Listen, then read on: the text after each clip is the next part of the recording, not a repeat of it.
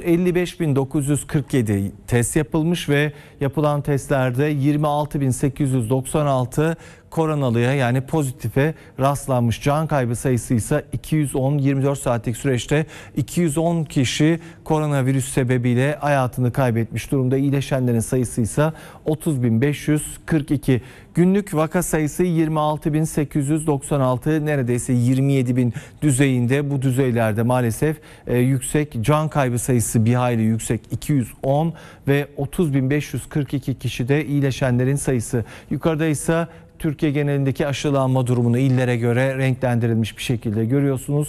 İkinci doza göre %78.01 Türkiye ortalaması ve Türkiye genelinde işte mavi şehirler çoğalıyor. Tek kırmızı şehir Şanlıurfa. Şanlıurfa'nın biraz daha gayret göstermesi gerekiyor. Aşılama kampanyası sürecinde %52.6 ikinci doz oranı Şanlıurfa e, sadece kırmızı. Onun haricinde maviye dönen iller yani %75'i geçen illerin sayısında da artış var. Bir kez daha ifade edelim. 27 Ekim 2021 Çarşamba gününde 355.947 test yapıldı.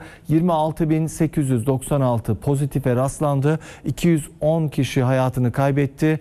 30.542 kişi ise iyileşenlerin sayısı olarak kayıtlara geçti.